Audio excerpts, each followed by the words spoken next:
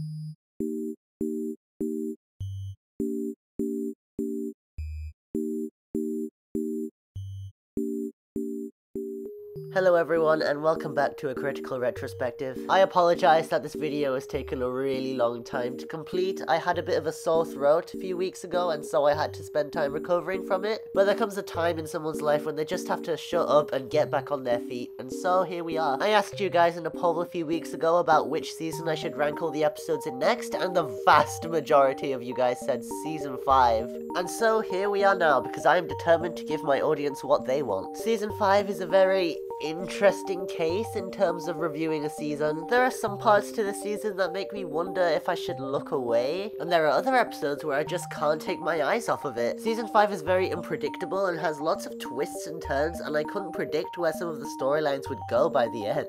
Don't get me wrong, I'm going to be fairly critical of some of the episodes, if not a lot of the episodes, but I have some great stuff to say as well. Season 5 really benefited from having a great season like Season 4 to springboard off of. The groundwork laid out by the Season 4 finale inherently made Season 5 incredibly interesting. A bunch of characters were actually given some much needed character growth, which I love. Albeit, some of the character growth this season happened way too late, and some of this stuff should have happened seasons earlier, honestly. But I should really get started on ranking the episodes before I run out of things to say because I expended it all on the intro, so let's get going, shall we? As is tradition, let's start with last place. Lights,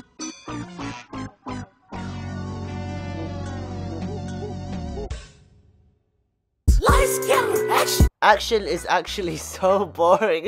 it is completely detached from the rest of the continuity of Season 5, and it's just a dumb plastic special. Ugh, my exposure to generic trite like this is making me very impatient whenever I see it in something I truly like. Maybe I should stop ranting and raving and actually get into why this episode gets on my nerves so much. First of all, for the final episode of Season 5, it is unbelievably boring and underwhelming. Historically, the final episode of every season is an incredibly plot-filled and important one. Volpina introduces the character Lila Rossi and gives us the first taste of someone who actually hates Ladybug. Mayura introduces Natalie as the Peacock Miraculous Holder and gives Hawkmoth an ally for season 3. In Miracle Queen, Master sacrifices himself and Ladybug becomes the new guardian of the Miraculous. Strike Back is absolutely insane. And now, here we are.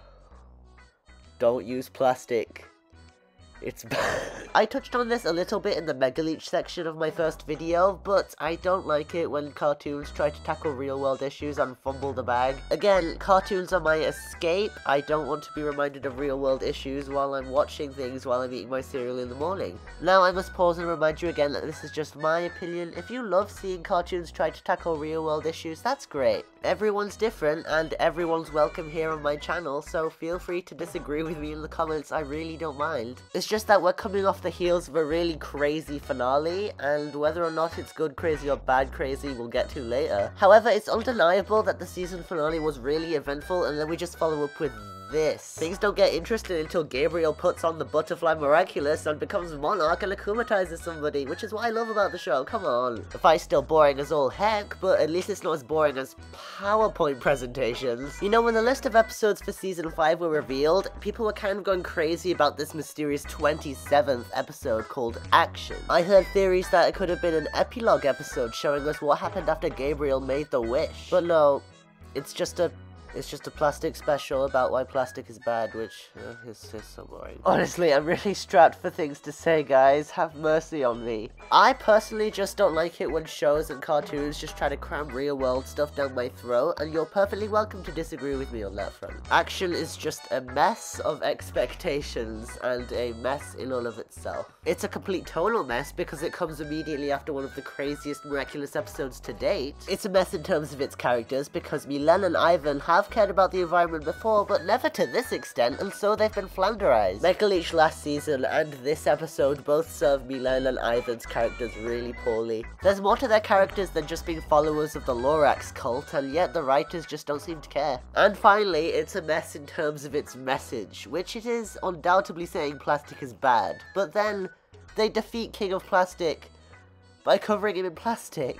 Action is telling me that plastic is bad, but it's showing me something else because plastic saved the day and defeated the villain. So yeah, it is pretty much a mess in almost all fronts. Thanks, Burrito Foundation. You sure gave us a good episode to remember for the history books. Anyway, let's move on.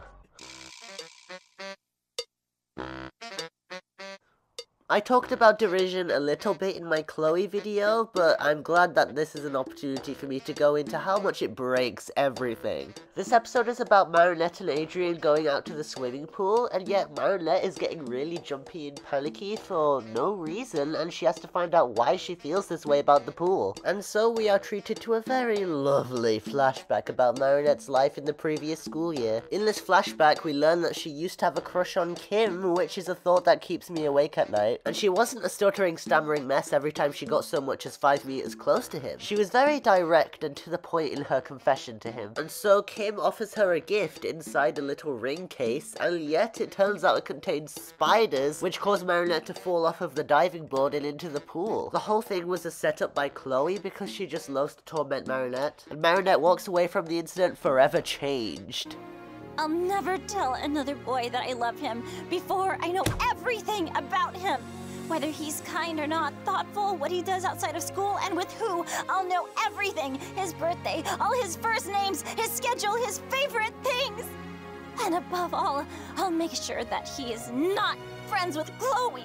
Okay, so now we know why Marinette stalks Adrien, because she's scared of the same thing happening again. But this is a weird explanation for a weird problem. Marinette stalking Adrien shouldn't have been justified in my opinion. It should have either been corrected or not written at all in the first place, because it sends a really bad message to the target audience that it's okay to stalk somebody if you have feelings for them. And yes, I do have sympathy for Marinette. This is a really horrible situation that she got thrown in when it wasn't her fault. But it doesn't justify the weird stalkerish actions that she takes in order to get close to Adrien nearly every episode. And her meltdowns at the pool don't really make much sense because she's been there plenty of times before and was perfectly fine. And she spent plenty of time with Kim and they've had very positive interactions. From the way they interacted in seasons 1 and 2 and 3, you never would have guessed that Kim did something to ruin Marinette's life like this. And so the writers pull this incomprehensible storyline out of thin air in order to justify Marinette's stalking and to make Chloe even worse than she was before. Not to mention how angry Cat Noir gets that dark humor Kim's akumatized form just because of a prank that he pulled a year ago. Adrien's character has really regressed since he just became Marinette's boyfriend and not much else. Adrien's personality is now I love Marinette, and Chloe's personality is now I hate Marinette. Characters have now been watered down to their most basic traits, and it's really boring to see. Okay, now I finished my hit piece on derision, so let's move on to the next episode. Marinette. Make sure that Adrien never knows about the villain that I was, but instead, that he remembers the times I tried to be a good father. No! No! No! No! This finale is the absolute worst finale in the entire show, even surpassing Miracle Queen. This episode had five seasons worth of build-up, and it still managed to completely destroy any hope that I might have had going into part one. First off, the villains of this episode are really underwhelming and boring. The final villains of the final-ish season of the Gabriel Agreste arc is these dumb android alliance ringed villains. And that's not even beginning to mention the fact that Marinette fights Monarch alone. Adrien slash Cat Noir doesn't have any part to play in his own father's comeuppance. Even after Miracle Queen and all the bad storylines that came about in the show, at least we had this. A storyline of Ladybug and Cat Noir finally facing Hawkmoth at the end of the show, and Cat Noir learning who his father really was and coming to peace with that seemed like a given. You can't ruin that, can you? Well, I think we underestimate the idiocy of the writers. Marinette finds Emilie frozen in the basement on her own. Adrien has absolutely no part in this revelation for some reason. Ladybug and Cat Noir should have both been here to fight Monarch together. It's just such a bafflingly stupid decision to leave Cat Noir out of the final fight. Adrien's been treated like dirt by his father all season, and so the catharsis coming from Adrien finally taking his father down would have been great for the audience and himself. He would have finally had his own autonomy independence and stopped being his father's puppet. Imagine if Adrien and Gabriel talked about how Emilie's disappearance affected both of them and worked together to find a solution instead of Marinette who really feels out of place this scene. She literally tries talking Gabriel down and de-transforms. What? oh, who could have seen that coming? Me. I saw that coming. Why did you trust him? You fool! So Gabriel succeeds in ambushing Marinette, steals the Ladybug and Black Cat Miraculouses, and wins! He makes the wish! So in the end, after all the supremely awful things that he's done, Gabriel gets what he wanted in the end, and now he's painted as a hero. So Gabriel recreated the world, and now I'm not really sure if anybody's real or if these are just replacements. If Gabriel destroyed and remade the world, are these the same characters we grew to know and love over eight years? I'd rather not dwell on that. All the Alliance rings that were hijacked by Monarch have been recycled to design the statue in honor of the great Gabriel Agreste. Beyond the visionary entrepreneur and the genius creator, it's the hero who we celebrate today. And tomorrow, it's his legacy that I will continue to carry on. W wait, what? And Ladybug gave it to me. She told me how my father helped her to defeat Monarch at the cost of his life. I don't know if I'll ever manage to be like him. What? wow! Why? What is that? Okay, let me get this straight. Marinette didn't tell Adrien that Gabriel and Monarch are the same person. Adrien is under the impression that his father is a hero. This isn't fair at all. Adrien did not get the closure that he rightfully deserved. Ugh, this is so terrible. I don't have the energy to talk about it anymore. I might save it for a future video essay. Oh yeah, I forgot to mention Lila is here as well, but honestly, who cares? all she really did was appear twice or three times this episode, lurk in the shadows, and act like she had a really cool, intelligent plan, when really everything that worked in her favour happened by sheer luck and coincidence. Honestly, this episode is just the epitome of the word disappointing. I'm just left wondering about why we spent 8 years of our lives watching this show only to be left with this sorry display of a finale. However, recreation does not exist in a vacuum. It comes paired with another episode, which we will talk about next.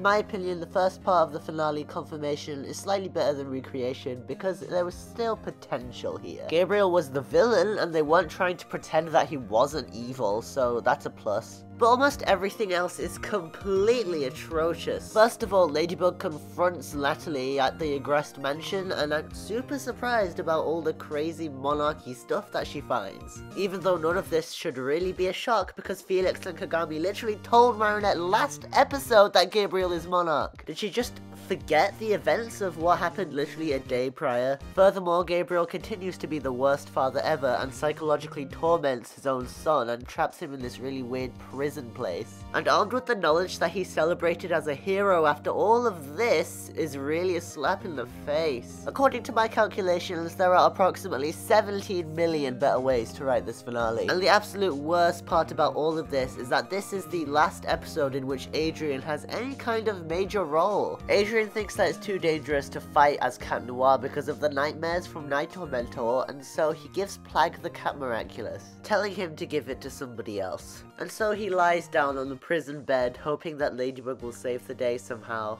and that's the end of his relevance in the finale. The show is called Miraculous Tales of Ladybug and Cat Noir, but apparently the writers wanted to leave the second most important hero out of the climactic battle for some reason. It was so easy to just incorporate Adrien into this finale and they actively chose not to. It's like they're trying to get on my nerves. Literally the only good thing I can say about this episode is the confrontation between Natalie and Ladybug. It's really tense and you can really tell that Natalie is holding on for dear life because she's really at death's door right now. And then she just dies before our very eyes and Ladybug is left shaking her corpse. But that doesn't really save the episode in my eyes because there's so much wrong with this finale, so tiny good parts can't save it. Honestly, I'm just sick of talking about this finale. It's draining me and I have to move on before I go insane.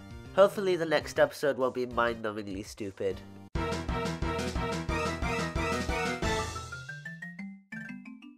Representation is weird.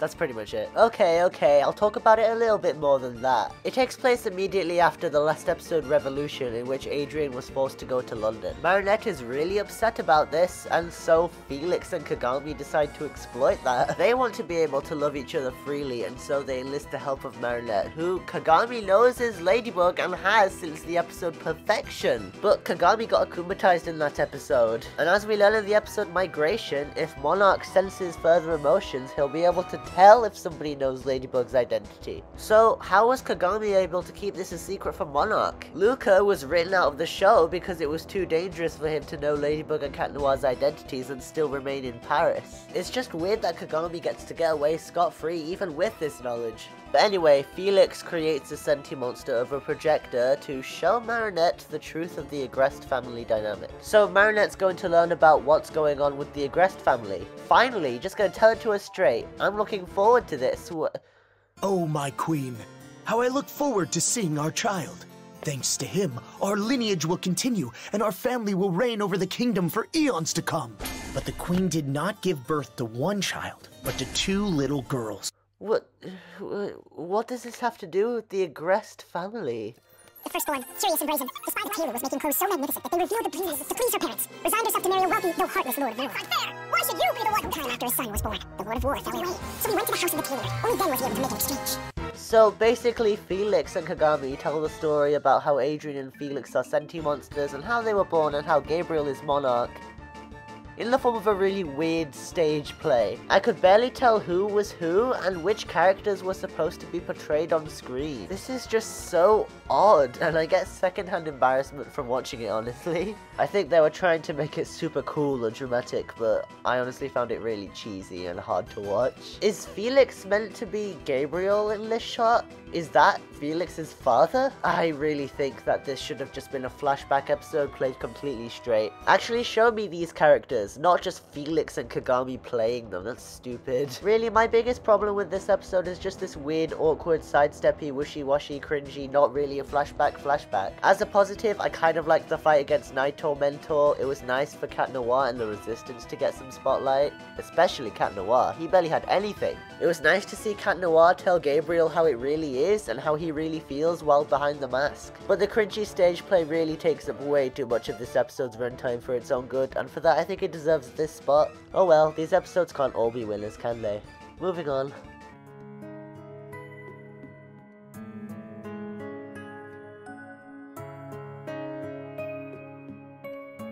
Revolution is built on an absurd premise, that being Chloe being the mayor of Paris. This all happened because last episode Andre resigned, and so Chloe steps in to govern Paris until an election is held, which it won't be held because this is Chloe we're talking about. As part of his Grandmaster plan, Monarch shows up at City Hall and offers Chloe a deal. He will akumatize Chloe and give her miraculous powers through his alliances. That way Chloe won't look like a hypocrite for banning superpowers while she herself has them. It's an interesting idea, but again, this doesn't make any sense. Monarch's plan would not have succeeded if Chloe wasn't the mayor, and realistically, Chloe shouldn't be the mayor because she's 14 years old. If anybody from this episode or last episode had even a sliver of intelligence, this never would have happened and Monarch would have failed. But this is 22nd out of a 27 episode long ranking video, so clearly my problems are deeper than just these minor nitpicks. This episode further demonizes Chloe, and I hate episodes that do this. Except for Queen Banana, because, well, I don't know. but I don't really feel the need to go over all that here. You could just watch my Chloe video if you want my full thoughts. Regardless, I can't really take Chloe seriously as a villain. She's so often treated like a joke character that it's really weird to see her have an iron grip on the story. Chloe is still being used for storylines this late into the show, and it's really exhausting, tiring, and she's really been bled dry of any narrative development at this point. But that's not the only stupid thing that happens. Ladybug and Cat Noir both get captured by Chloe via miraculous powers, and they're about to detransform. But somehow they're able to fight off the detransformation sequence through sheer willpower. Gabriel asks rightfully how they've done this, and Nooroo says that they've grown up somehow. And so Ladybug and Cat Noir escape the shield, and the people of Paris revolt and deakumatize Chloe. And we all know the story, Andre sends Chloe away with Audrey, yeah yeah yeah, we get it. And the episode ends with the class saying Miss Bustier should become the mayor. They say that she would be a great mayor, and we all know how that turned out. In this new school, there will be no classes or struggling to get good grades. Okay, I've been talking pretty negatively about Revolution so far, but what makes it better than action, derision, recreation, confirmation, and representation? Would the person who carried this episode please show themselves? That's right, Lila basically carried this episode for me. Or should I call her Cerise? Eh, I'm gonna stick with Lila. She only appears this episode for about 5 or 6 seconds at a time, but she has a pretty important role to play as Chloe's puppet master. She basically controls everything that Chloe says and does via an earpiece in order to get Monarch to akumatize her. And she orchestrated this set of events in order to get Tsurugi-san's computer. And this gives her access to the Agreste mansion in the finale, leading her to get the Butterfly Miraculous. However, as I said in the recreation segment of this video, Lila's plans don't really feel that carefully thought out. Like I said before, she doesn't really feel like a cunning mastermind, it just feels like she's taking advantage of some really crazy coincidences. And while she did carry this episode, it wasn't that much of a heavy lift. She doesn't make this episode that much better, just a little bit better. Which is all I can really ask for with this. Moving on. Multiplication's biggest issue is being repetitive and boring. It picks up where Strike Back and Evolution left off, with Felix nabbing the dog Miraculous and the rest of the Miraculouses along with it. Su-Han shows up and tells Ladybug that she's an idiot for losing the Miraculouses, and he's right, but once again Ladybug and Cat Noir undercut him. As is tradition with Su-Han, he completely lets up and admits that Ladybug and Cat Noir were completely right and that he was in the wrong. And then he leaves, bouncing away to do absolutely nothing for the whole season. What was the point of this character to begin with? So then they track Felix down at his home address and find Amelie, Felix's mother, who says that Felix isn't there, but she's obviously lying. After this confrontation with Felix's mother, the episode kind of spins its wheels for most of the runtime. The gist is that Monarch hasn't attacked for a while, and so everybody's just kind of relaxing. And then Ikari Gozen shows up out of nowhere. They fight Ikari Gozen and realize that she has a miraculous power, but they don't really do much more than that. The fight is quite boring, honestly, in my opinion. So then they defeat Kagami's mother, and it turns out that she's working for Monarch. Yeah, kind of predictable. I don't really have that much more to say about multiplication, to be honest. I mean, it was just kind of a boring watch. But an episode being boring is better than it being infuriating, so... Moving on. Migration really did Luka dirty in terms of his character. This is his second to last episode this season, and it's only midway through. This episode mainly focuses on Luka and his story and his personality, and yet all of it seems to ring hollow by the end of the episode, but let me explain. Bob Roth finds out that Luka is Jagged Stone's son and so wants to manage his music career without his friends. And so he tricks Luka into signing the band away with Bob Roth having all the rights to their music. Luka realizes that he's made a big mistake in trusting Bob Roth, and so he almost gets akumatized by Monarch, but he manages to slip away because... I sense something else. Panic. Fear.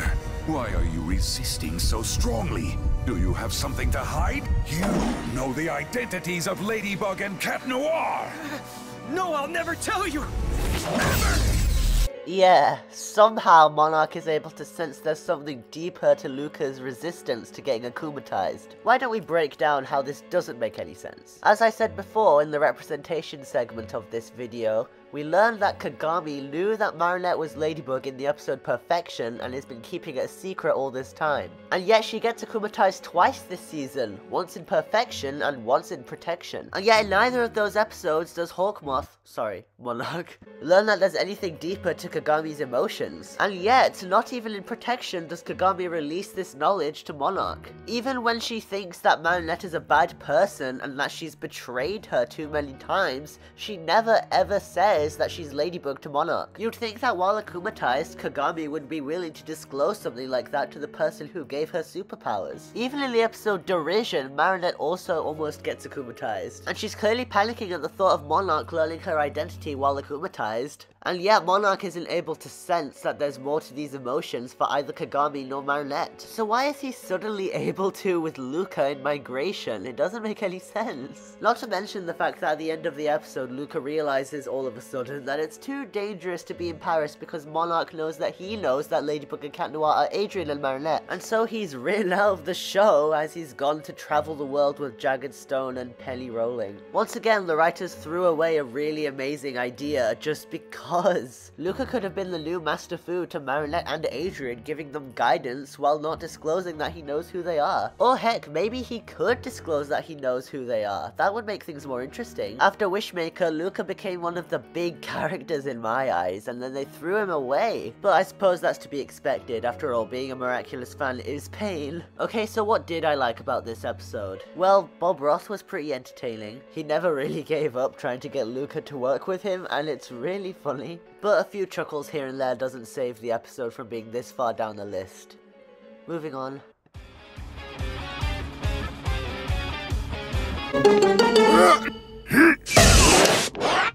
Let your kids watch it! I'm probably going to get a lot of flack for this, but I really don't like Elation. Fun fact, I could barely remember what happened in this episode, and so I re-watched it yesterday. And there were some parts of this episode where I just had to look away because I was feeling so uncomfortable. I just couldn't stomach how explicitly romantic Marinette and Cat Noir were getting sometimes. Now I understand that this is probably just a me problem, and most people love this episode, and they are not wrong for liking it. I need to make this really clear just like in my Psychomedian section in the Season 4 video. If you loved this episode, I really don't mind. This is just my personal opinion. And if you guys can watch Marinette kiss Cat Noir and then Cat Noir kiss Marinette, then you're just braver than me. It's just that passionate romance isn't what I'm looking for in a show. But I think there's more wrong with this episode than just that. Andre the Ice Cream Man is back, and once again he's sticking his nose where it doesn't belong. He's upset that Cat Noir is going out with Marinette when he thinks that he should be in love with Ladybug. Like,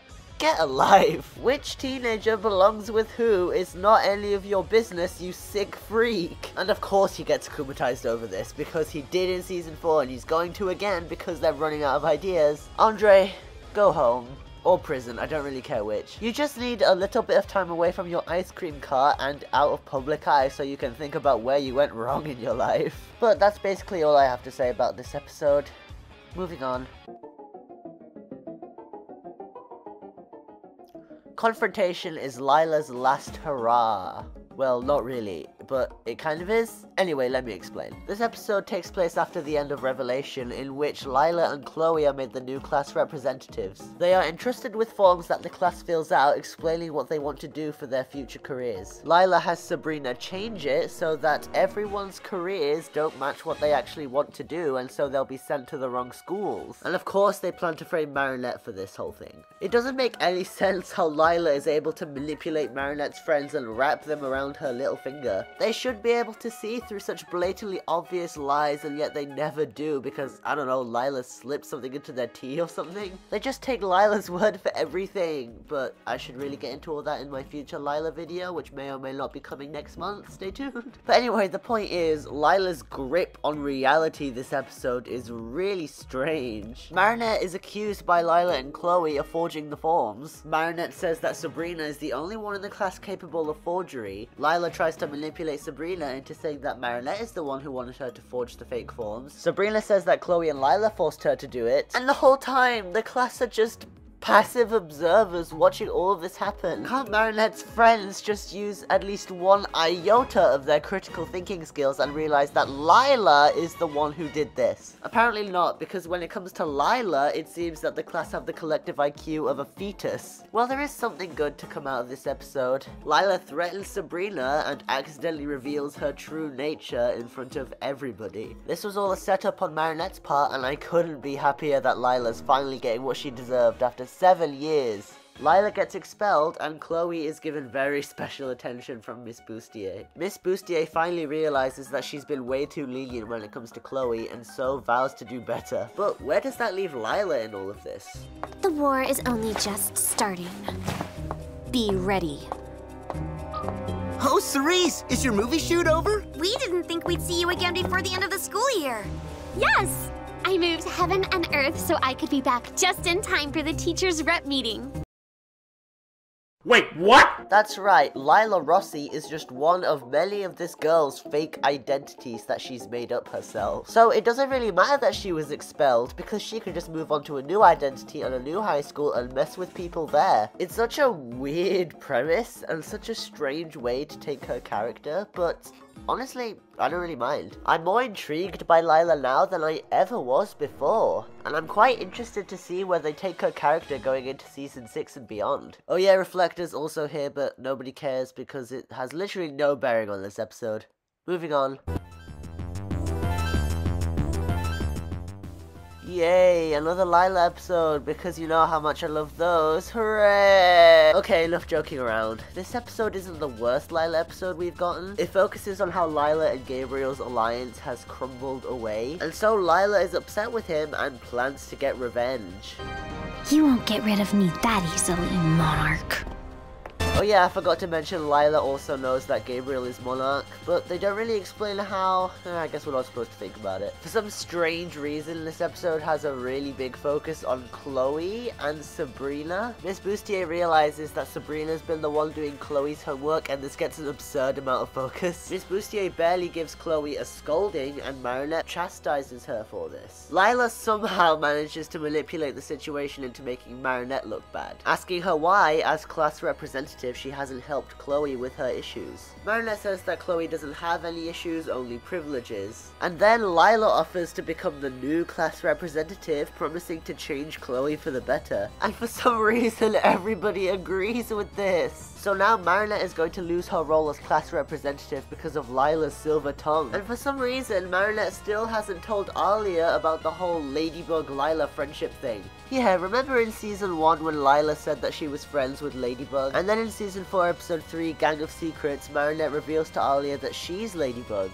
And yet for some reason, Marinette still hasn't told her about the lie that Lila said that she was friends with Ladybug and how obvious it is to disprove that. Lila's lies are so easy to disprove, it's insane. Her world will come crumbling down if somebody so much as opens their mouth and says that Lila's full of baloney. Okay, so what did I like about this episode? Predictably, it's when we stop with the stupid class representative plot and when Monarch enters the picture. Lila's plan was to have Monarch akumatize her, and that's exactly what happens. So Lila gets akumatized into Hoaxer, whose power is to mind control people if they see her on their alliance rings. Now you might be wondering why she wanted to get akumatized so badly.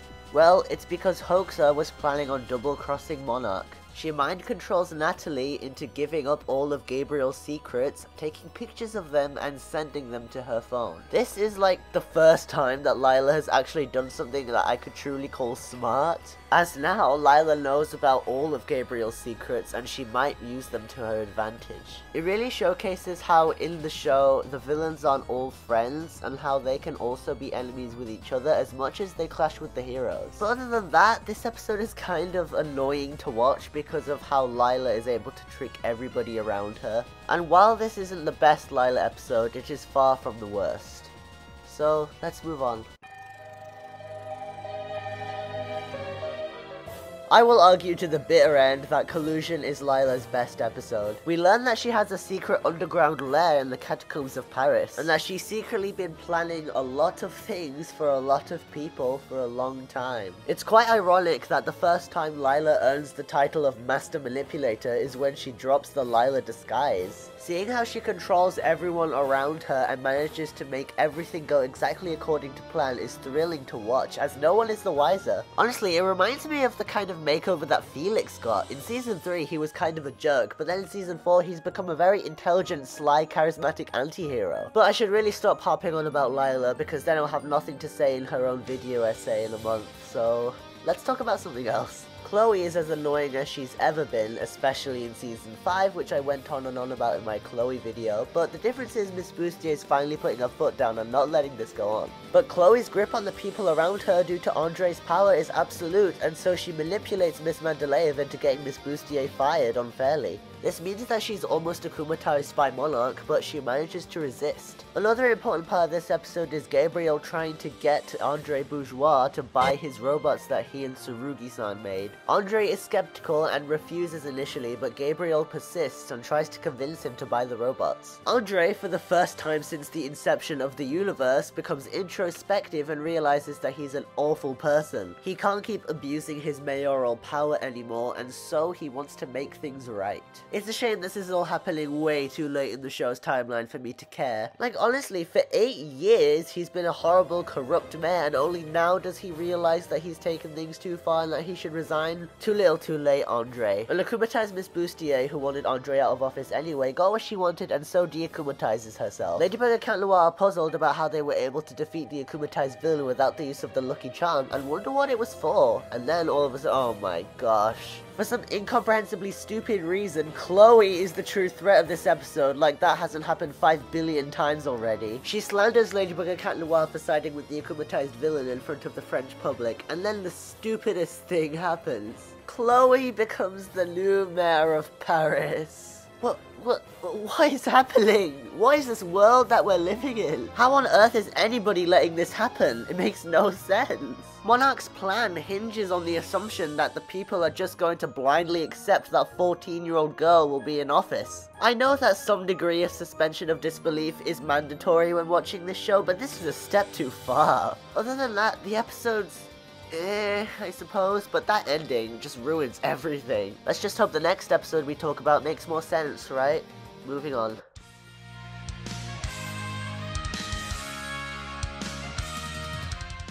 The first half of Destruction is amazing. Monarch shows up at Marinette's house because he asked the Kwamis where Ladybug lives.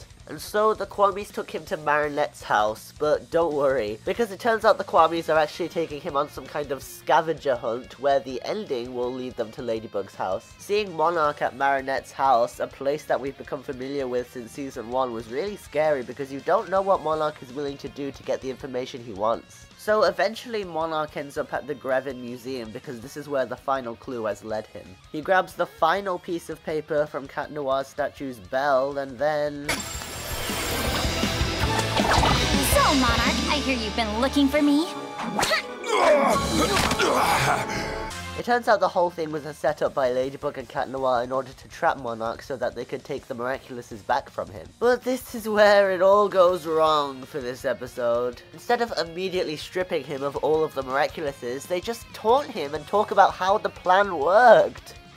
What are you doing? Your plan worked. The Miraculouses are right there, right for the taking. Just do it. Stop taunting him and take the Miraculouses already. And of course, since they spent so much time taunting him, that gave Monarch an opportunity to stop them. He lets himself get Cataclysm so that the shock from the moment will allow him a window to escape. And to be honest, this is a pretty good scene as it really showcases how Cat Noir feels really guilty about accidentally cataclysming Monarch. And this episode is pretty important, paving the way for future episodes talking about Gabriel's cataclysm wound. But remember how I said that the first half of this episode is amazing? Yeah, the second half, not so much. We spend nearly all of it in Marinette's bedroom with Marinette telling Alya how she created the plan. And they really go into detail about how Ladybug is going to bamboozle Monarch, showing us all the little details to their scheme. I don't understand why they're showing us how Ladybug put her blood, sweat and tears into a plan that didn't work. The plan was supposed to be able to capture Monarch's Miraculouses and all of the other Kwamis, and yet that's not what happened. The objective failed. So why are they showing me this? I don't really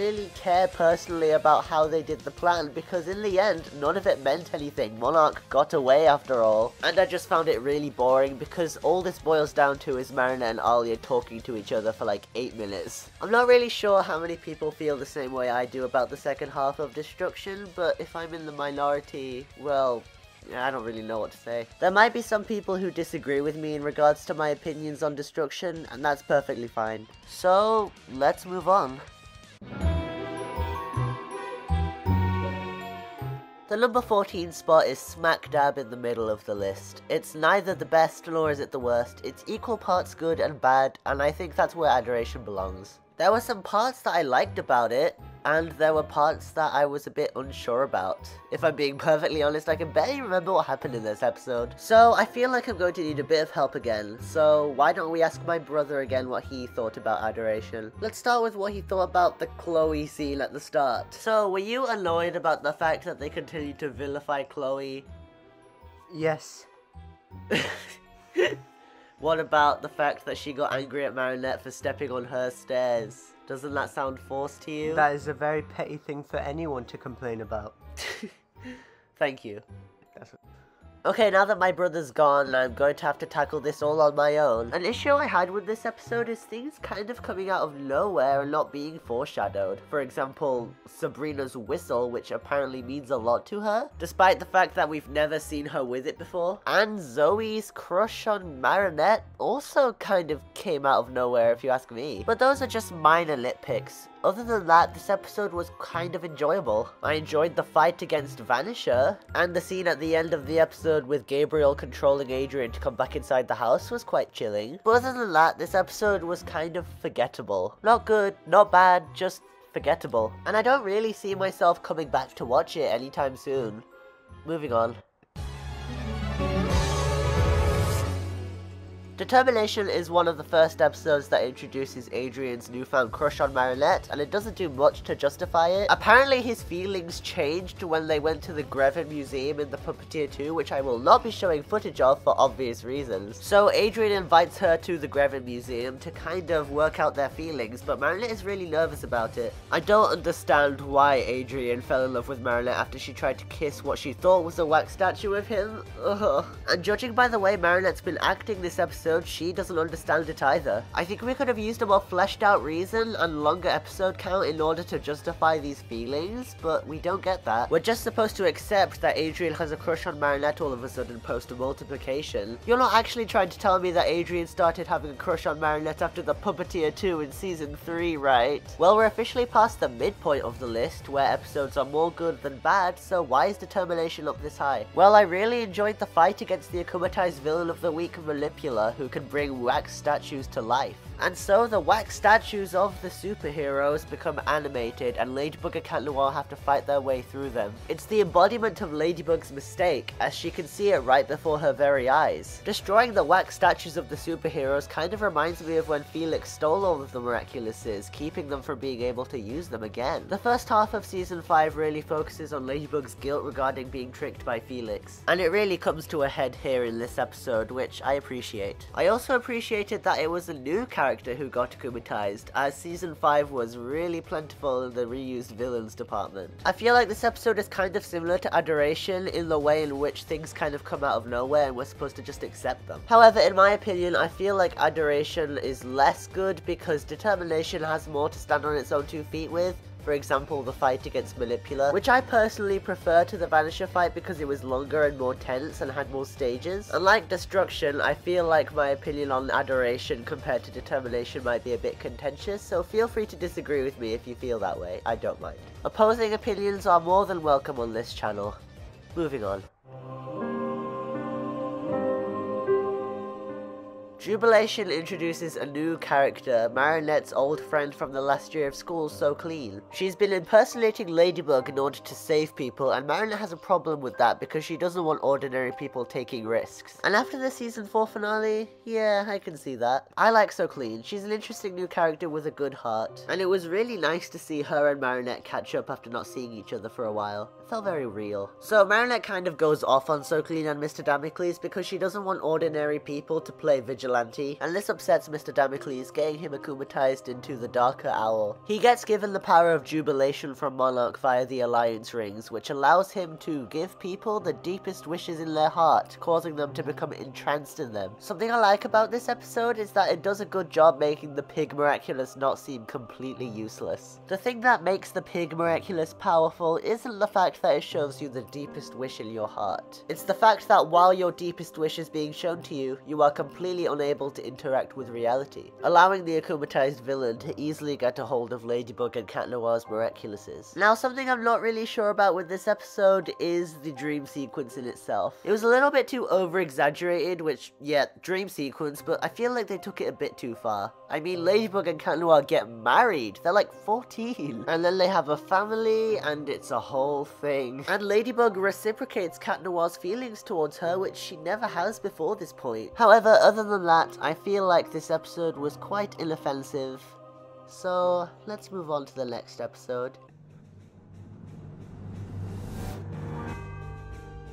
Protection is Kagami's second akumatized episode this season, which should be annoying, but for some reason it isn't. Maybe it's because during both episodes I can understand why she'd get akumatized. In this episode, Lila tries to manipulate Kagami into turning against Marinette. She does this to try and isolate Marinette to make it easier to ruin her life, because Lila is actually a monster. However, unlike other Lila episodes, I can see how Kagami would be fooled by her machinations. Lila mentions how Marinette only acts completely inept and clumsy in front of Adrien and that it's just a ruse in order to manipulate everybody else into helping her. Which I can believe, especially considering someone as sheltered as Kagami who can't pick up on the warning signs that someone is manipulating her. And so she gets kumatized into Riposte Prime with the Turtle Miraculous's power of protection as an added bonus. And so Riposte Prime goes to ambush Marinette and Adrien because Marinette is perceived as an evil manipulator in Kagami's eyes. I really like what this episode does to flesh out both Kagami and Marinette's friendship and gives them challenges and obstacles to really test it. So after they defeat Riposte Prime, they had a lot of issues to work out. Marinette asks how Kagami could possibly think ill of her, to which Kagami responds that Lila told her. But Marinette and Adrien both assure Kagami that Marinette would never do anything to hurt anybody. This causes Kagami to break down in guilt after realizing that she lost faith in one of her best friends because of Lila. And so the friends make up. For some reason, however, Kagami still offers to be Lila's friend after all of this. I guess Lila still has what Cyrus the Great calls Mary superpowers. Other than that, I quite enjoyed the Marinette and Adrien story this episode. They really want to be together despite the fact that Gabriel disapproves of their relationship, and they're willing to do whatever it takes to stay together, even if it means going against Gabriel's wishes. It also showcases some character development for Marinette as she stopped trying to create elaborate plans to get with Adrien. It's quite nice to see her just take things as they are and not be so stressed whenever she's around Adrien. The episode showcases Adrien trying to break away from his father's influence and live his own life like a few other episodes before it have done, and it makes it clear just where Adrien stands in the conflict between Marinette and Gabriel as he's firmly on her side and wants to be with her. So yeah, not much more to say other than that, this was a pretty good episode, but there are better ones. Moving on.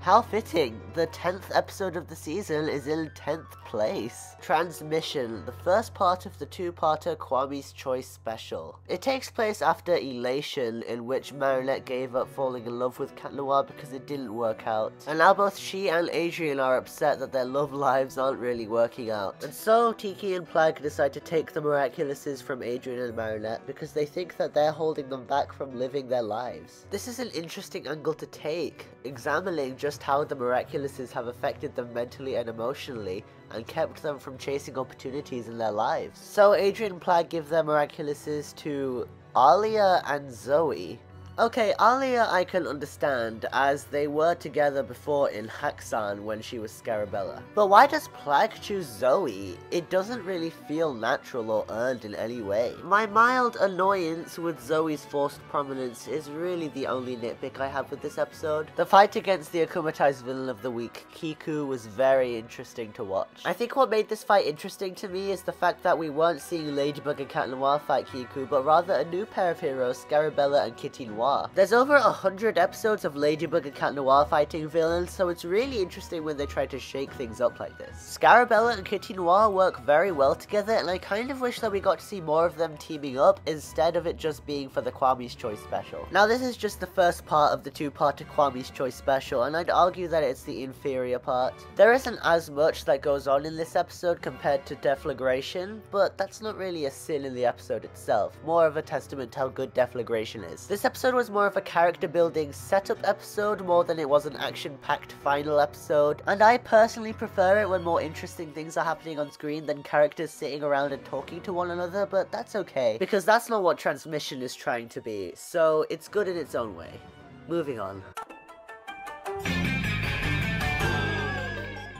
Intuition is a very tense episode to watch because it makes itself very clear about what it's trying to tell the audience. That being that Gabriel is running out of time due to the cataclysm wound on his arm slowly draining his life away. We learn that he's been using the power of the snake to reverse time very frequently and that it's accelerating the time in which his cataclysm wound is going to kill him. Honestly, at this point, I don't really feel like Gabriel has much of a choice. If he doesn't get the Miraculouses, he and Natalie are going to die. So I definitely understand his unwillingness willingness to give up, especially considering the fact that he's going to lose everything if he does so. And so he plans to remotely hack a spaceship so that Ladybug and Cat Noir will be lured into space so that he can take their Miraculouses there. I think the best part about this episode is showcasing every little bit of Gabriel's plan and how it all comes crumbling in the end. However, it's very interesting to see him at least try to get the Miraculouses in an intelligible way. And yet, every single time that something goes wrong in the plan, he uses second chance again and again, despite the effect it's having on his health.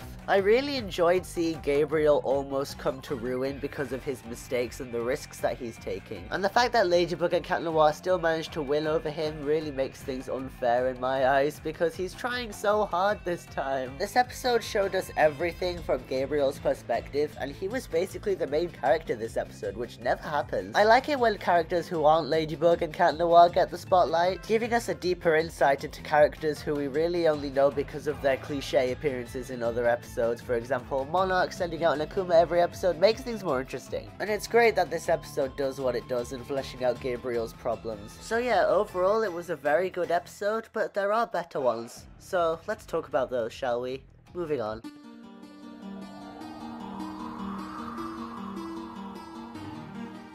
You know, what's funny, for an episode called Perfection, it's not number one on the list. Eh, I'm just joking. This episode is still pretty good, even if it's not perfect. The episode follows Marinette being upset that she can't talk to Adrien, and neglecting Kagami's calls because she thinks that she's going to think that she's stupid. Now, if you think that's a bit of an absurd premise, yeah, it is, but somehow they managed to make it work. We spent a majority part of the episode with Marinette and Adrien as the friends try to get them together, and this part of the episode is honestly kind of boring. That's not why it's up this high. Marinette and Kagami's friendship carried this episode for me. Marinette spends the whole episode avoiding Kagami because she thinks that Kagami is going to get upset that Marinette still hasn't confessed her feelings to Adrien, especially considering everything she sacrificed for her to do so. But being ghosted by Marinette causes Kagami to think that Marinette isn't her friend anymore, which isn't helped thanks to...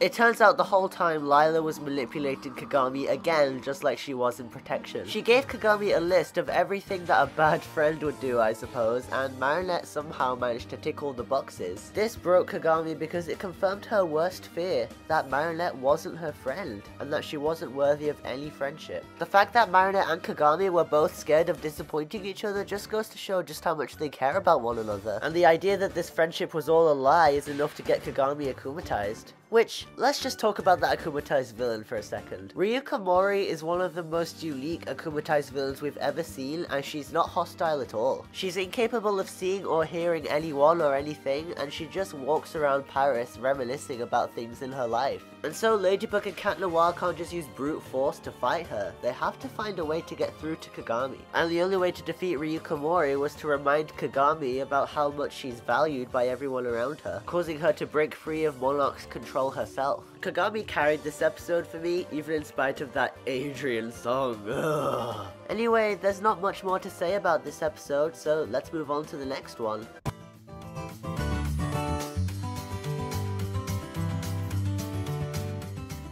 I actually really enjoyed Illusion, believe it or not. Sure, it's not the most complex episode, but I think it had a very unique and interesting premise. Nino starts an organization in the school called the Resistance, which is supposed to help Ladybug and Cat Noir defeat Monarch. Their first mission is to figure out how Monarch is able to transfer miraculous powers to akumatized villains. And to do this, they come up with a kind of unethical motivation, that being the deliberate cause of an akumatization at their hands. And so they choose Gabriel Agreste as their target target. This is the worst idea I've ever heard. They deliberately try to make him angry so they can find out how Monarch transfers the powers to him if he gets akumatized. But Gabriel manages to resist getting angry for quite a long time, which is a neat segue into talking about what I liked about this episode. Gabriel. This episode showcases a major shift in Gabriel's personality. He's brighter, more upbeat, and kinder to Adrien. And he's spending his time cooking breakfast for him. He even says to Adrien that he can call him dad instead of father, displaying a level of warmth and care that we've never really seen from the guy before, and the implication that he's only acting like this because he wants Adrien to have good memories of him before the cataclysm wound kills him prematurely is quite bittersweet. And it makes it all the more interesting later in the episode when the resistance deliberately tries to get him akumatized, because Gabriel's trying so hard to keep it together for Adrien's sake. And so when he finally snaps, it's a sign that the resistance have gone too far and potentially irreparably damaged Adrien's relationship with his father. And so Monarch capitalizes on the situation by using the Fox Miraculous to create an illusion of the Collector to make it seem as though Gabriel was akumatized, while also successfully tricking the resistance into thinking miraculous powers are transferred via lightning instead of the Alliance rings. The dichotomy of Gabriel's sweet side with Adrien and his malevolent, malicious, evil side with Monarch makes this episode an interesting watch. And I personally believe that it deserves to be this high for that alone. So, let's move on, shall we? Reunion is an episode about the past and the present. It's about the past Ladybug, Joan of Arc, and how the people perceived her, and it's about public perception to the present Ladybug, which isn't doing so great ever since Monarch stole all of the Miraculouses from them. The first thing I liked about Reunion is that it showed us that there is some criticism garnered towards Ladybug. It's pretty realistic. I mean, of course not everybody would like Ladybug after a massive blunder such as this. And Alix's older brother Jalil is an interesting vector for this story. In Evolution, Alix finally uses the Rabbit Miraculous and has to stay in the burrow until Monarch is defeated, keeping her from seeing her family again. And so struck with grief, Jalil believes that Ladybug tricked Alix, and believes that Monarch might not be such a bad guy after all for some stupid reason. And so, believing that there's no other option to achieve his happy ending, he asks Monarch to akumatize him into the Pharaoh again. Now this is something that not a lot of people have really touched on in my opinion, but I think that it deserves a bit of an analysis. We're in a very unique position because we're seeing someone who wants to be akumatized who isn't really evil at all. Normally, whenever we see a character who wants to be akumatized, it's an evil villainous character like Natalie, Lila, or Chloe. But Jalil is just a disillusioned young man who misses his sister, and he sees Monarch as a way to get what he wants rather than the other way around. It's a more nuanced look at the topic of intentional akumatization, but that's not the main thing, nor is it the only thing that I like about this episode. In this episode, we meet Joan of Arc, the past Ladybug Miraculous holder. She's an interesting character, and it's nice to see Tikki reunite with someone from her past who she's so close to. And yet, the reason Marinette summoned her using her Kwagatama is because she wanted to know if any Ladybug Miraculous holders fell in love with any Black Cat Miraculous holders in the past. And just like me, she thinks that's a stupid reason to have her summoned back. And yet, the novelty of seeing a past Ladybug Miraculous holder is too strong to ignore, and so I'm willing to look past this stupid idea. Besides, Ladybug consulting with past users of her Miraculous is something I've wanted for seasons now, so I'll take it, whatever it is. And then at the end of the episode, we got some backstory for Joan of Arc, which felt very totally distinct from the rest of the show, and so I really appreciate it. So yeah, I think I've said just about enough about Reunion. Moving on. Pretension is an episode that really works to humanize Felix, which I really appreciate. In this episode, Felix wants to protect Kagami from her mother to try and set her free. And what I love about this is that it officially cements Felix as the anti-hero of the show. Because I'm sure we can all understand that kidnapping someone isn't exactly an ethically righteous thing to do. But Felix does what's best for himself and those he believes are like him. And so it makes perfect sense as to why he'd resort to kidnapping Kagami in order to get her away from her mother. Because he doesn't really know any better because of his skewed moral compass. And Kagami's mother is so enraged that Felix kidnapped her daughter that she gets akumatized by Monarch into Matagi Gozen to try and find her. And Ladybug and Cat Noir have to defeat Matagi Gozen while also trying to get the Peacock Miraculous back from Felix. We've got three different moralities at play here during this battle and it's really fun to watch. Felix isn't on the side of Monarch nor is he on Ladybug and Cat Noir's side. He's rogue and he's on his own. He's a morally grey character whose allegiances you can never truly understand. Honestly, at the end of season 4, I was kind of worried that they were just going to dumb him down to be Monarch's ally, and I'm so glad that they decided against that. And it's quite nice to see that Duusu is finally in good hands. Kind of. This episode also gives us a good reason as to why Felix wanted the Peacock Miraculous in the first place. He wanted the Senti monsters to have freedom and control over their own lives. I refuse to create a being to manipulate them, control them, abuse them, and end up destroying them. Felix has seen people like Gabriel create senti-monsters, twist them to his personal desires, and end up destroying them once they've outlived their usefulness, and he wants no stake in that. It's a very interesting reason as to why Felix would take the Peacock Miraculous, as he doesn't feel like Gabriel is worthy of using it because of the way he treats the senti-monsters he creates. But that's not the only thing I liked about this episode. I really enjoyed the talk that Marinette and Gabriel had in the kitchen. Despite the fact that I believe these two aren't exactly emotionally charged rivals like I think Adrien and Gabriel would have been in the finale, I do believe there is some rivalry there. Gabriel is a fashion designer and Marinette is aspiring to be one, so there is a contrast there that we can examine. Marinette designs clothes in order to make people happy, whereas Gabriel designs clothes in order to gain more power in the cultural landscape. It's an interesting dichotomy that a lot of episodes have neglected to talk about up until now. This and the Felix scenes in this episode make Pretension a very worthwhile watch that I would highly recommend. Moving on.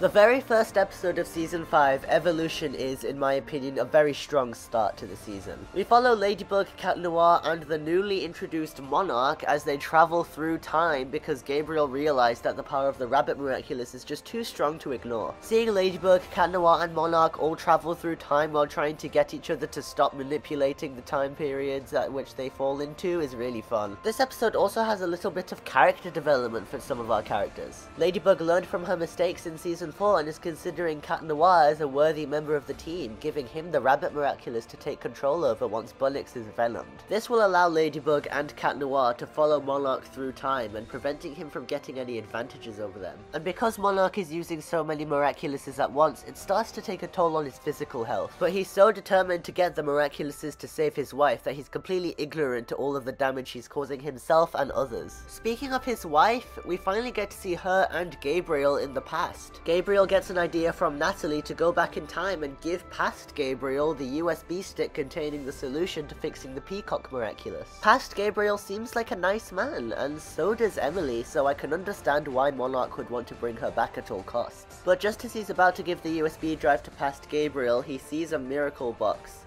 and knows that Ladybug and Cat Noir are probably trapping him but he just can't resist the urge to try and defeat them. The three have been fighting for seasons at this point, so it makes sense that Gabriel's priorities would shift to 40% defeat Ladybug and Cat Noir and 60% save his wife. So Gabriel follows Ladybug and Cat Noir into a separate timeline where he gets ambushed predictably, and so they manage to steal the Rabbit Miraculous back from him. Gabriel is upset about this because he was one micrometer away from victory. Nathalie calls Gabriel asking if the plan worked, to which Gabriel says that Ladybug tricked him. Gabriel demands that Nathalie come up with a new plan for him, to which Nathalie says that she's done helping him because he really messed up this time. He could have defeated Ladybug and Cat Noir if only he gave the USB drive to past Gabriel, and he couldn't even do that. Seeing Nathalie abandon Gabriel for the first time in five seasons was really interesting to watch, and made me wonder who was going to help Gabriel now or if he was just going to strike it out on his own. This episode did a lot to shake up the formula and so I really appreciate it. And it set the stage for future episodes to come.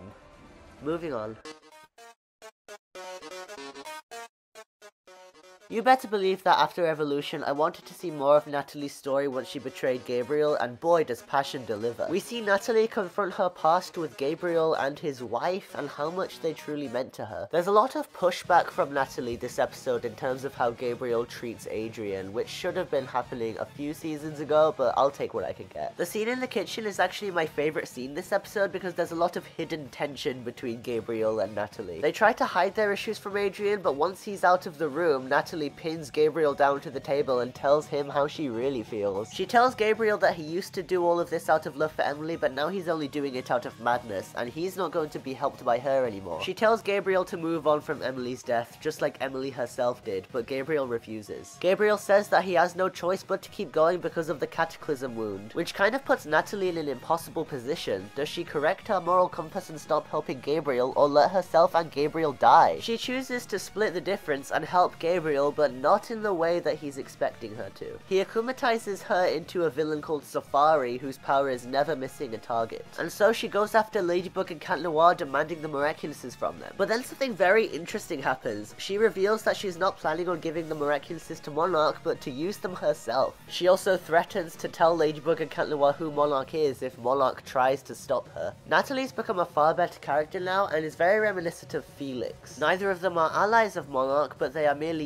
using him to achieve their own goals. But Nathalie's not the only good part about this episode, so is Adrien. He sees Nathalie as a surrogate mother, and so Nathalie's sickness is starting to worry him. This episode focuses on their relationship as a surrogate mother and son, and it's really appreciated because it's not something that gets touched on very often in the show. Not only that, but to avoid Safari's traps, Ladybug and Cat Noir swap their Miraculouses again in order to transform into Lady Noir and Mr. Bug. This allows Adrien to finally get the spotlight in defeating a villain, which is something that I really appreciate, which I've said before, but that's because I mean it. Even if Adrien absolutely 100% deserved to be in the finale and play a pivotal role in recreation, at least he had this episode. So yeah, Passion is a very good episode and it gives spotlight to two characters who don't really get it and gives them character development that they desperately needed. Moving on.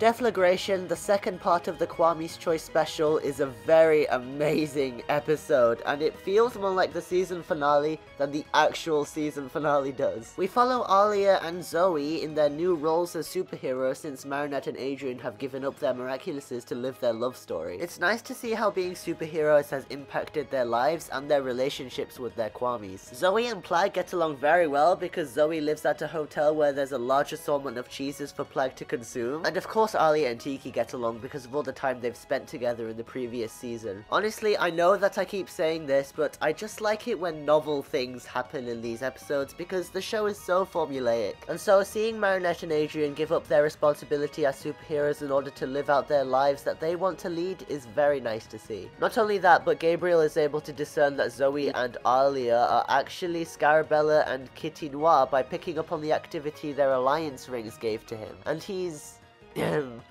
mildly enthused about this information. So Gabriel decides to capitalize on knowing the new heroes' identities by ambushing them at their school. He uses the mouse and rooster powers to turn small and invisible and give himself multiple copies so that he could stalk the heroes without them seeing. Then he akumatizes Chloe into Soul Destroyer so that Zoe and Alya go to transform where he ambushes them. Tikki, spot Two down.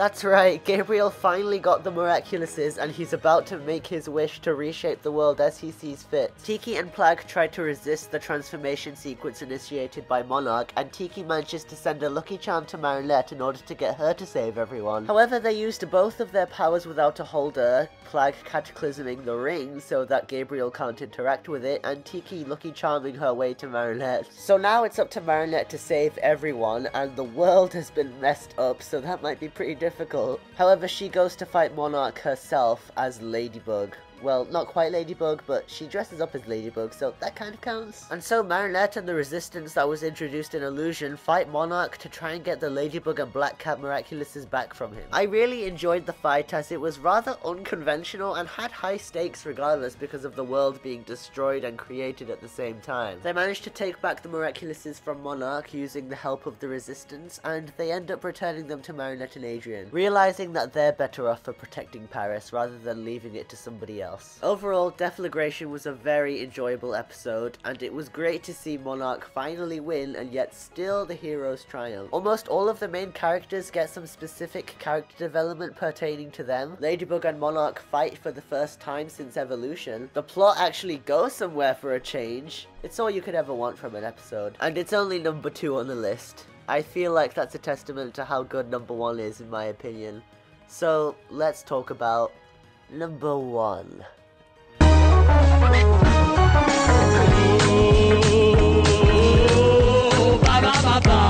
One day I can see and all that matters All is not gold glitters. Everything I want shall be mine forever.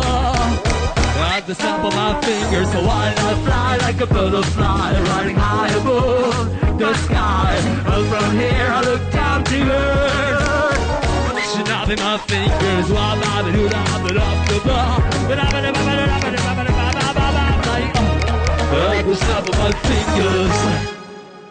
Emotion is a phenomenal episode that I can't even begin to describe how much I love. Everything about it is just so perfect. From the characters to the story to the animation, my goodness is this episode greatly animated. But I think I'll start with the story. Marinette learns that Adrien is being forced to attend an event called the Diamonds Dance, which is an event where rich people go with their children. And this is the first point that I want to make, because Marinette didn't know that this was happening because she's finally stopped stalking Adrien and following his timetable. It's such a mark of growth from her previous actions in past seasons, and I love it. Alright, I have to keep myself in check here. I can't get distracted by every little thing that I love about emotion so let's move on. Marinette wants to go to the Diamonds dance in order to support him and reassure him that it's okay that he wasn't able to tell her. With Zoe's help, Marinette is able to infiltrate the dance by impersonating as her. She disguises herself and mingles with the guests for a little bit, including Chloe who doesn't recognize her. Marinette eventually catches up to Adrien and tells him that she loves him and will always be there for him, even if Gabriel is still pulling the strings of his life. Which nicely brings us to what makes this episode so great. Felix. See, it turns out that the Adrien that was at the Diamonds dance was actually Felix in disguise, who infiltrated the party in order to execute his grand plan. To use his senti-monster Red Moon to bathe everybody in a red light that will allow him to snap his fingers and make them disappear. So let's just take a bit of time to analyze Felix's character this episode. He's actually killing people, and a lot of people, but why is he doing this? It's so that he, Kagami, and Adrien will be the only ones left on the earth so that they can finally be free. So Felix's motivation for doing this was to live in a free world with Adrien and Kagami, his fellow senti-monsters. And it is very heavily implied that Adrien, Kagami, and Felix are all senti-monsters, yes. Earlier, Ladybug was unable to defeat Felix because her Lucky Charm didn't give her anything, and so Felix snaps her out of existence. Now he's won. He's accomplished what he set out to do, so how are we going to defeat him? Well, it turns out he kind of defeats himself. Since he did this for Adrien and Kagami, once those two make it clear that what he's done is actually horrible, he reverses everything out of guilt. It also doesn't help that by snapping Ladybug out of existence, he's unknowingly gotten rid of Marinette as well, who he saved for Adrien because she meant so much to him. And so he brings everybody back of his own volition. Marinette comes to see Adrien Kagami and they embrace her because they're so relieved that she's safe. Felix, seeing all of the damage that the Peacock Miraculous has done, goes to talk to his sentient monster Red Moon. He has an epiphany that the Peacock Miraculous is kind of terrifying, creating a living being that you can control at will and destroy when you see fit. It reminds him too much of his own existence as a senti-monster. And now the only way to make things right is to destroy his senti-monster. Basically his sibling. And him being a senti-monster makes it very easy to see why he started grieving when he destroyed his senti-monster. Because they're the same species. He feels their pain. And so he hates people like Gabriel who just use senti-monsters as a means to an end. A complex, layered antagonist that emotion is home to, as well as the fact that Ladybug had to rely on Felix's moral compass in order to defeat him, makes Emotion the best episode of Season 5, in my opinion.